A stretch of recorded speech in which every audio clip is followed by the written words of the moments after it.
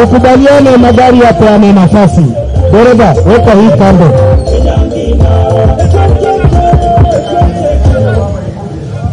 Fungua jamani, fungua jamani.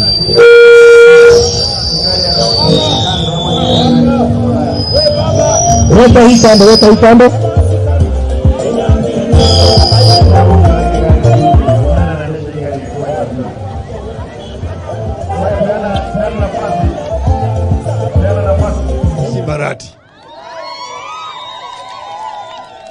Na apewe nafasi ya kufanya naye kazi kwa wakaji wa Kisii, kwa upande ya matibabu, kwa upande ya ujenzi wa barabara, kwa upande ya soko, kujenga masoko hapa na pale, kujenga manyumba malazi kwa wananchi wa eneo hii yote hiyo, kuleta viwanda industrial park Haya yote yanaweza kufanyika, lakini ikiwa kama serikali ya kaunti imepewa pesa sawasawa.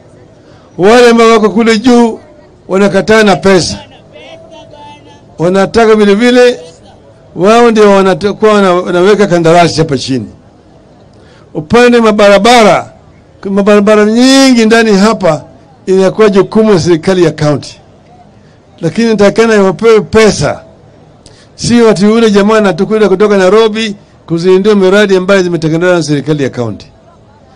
Ati ati barabara tutajenga hii namna hii namna hii. Wacha kufanya mambo kujenga, patie Simba pesa ajenge. Tunaelewana vizuri? Tunaelewana vizuri? Upande ya kilimo, kilimo imekatiliwa, patia serikali ya kaunti pesa ya kufanya kilimo.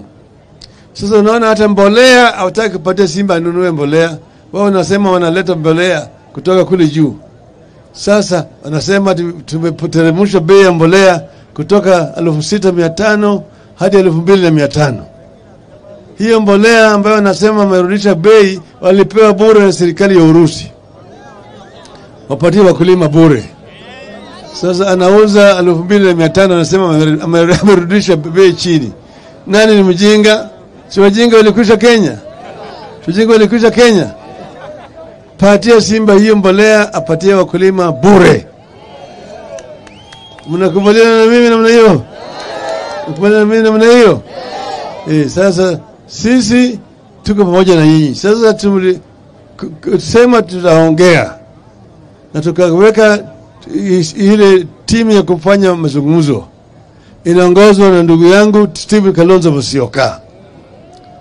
Tumesema sisi tuko tayari tuangalia kama kunakuwa na mambo inaitwa demokrasia kwa upande wa uchaguzi. Ile nyungu pale ambayo matokeo yalienda ifunguliwe, sava ifunguliwe. Mnakubali sava ifunguliwe? Ifunguliwe? hapo, nasema ifunguliwe, nione hapo. Sawa eh? Alafu gharama ya maisha iru, ishuke bei ya bidhaa muhimu ishuke, bei ya unga fanye nini, bei ya mafuta fanye nini, petroli, sukari, si sawa sawa? Tukisema namna hiyo tumefanya makosa, fanya makosa tena. Tunaambia polisi wawache kupiga wananchi na risasi.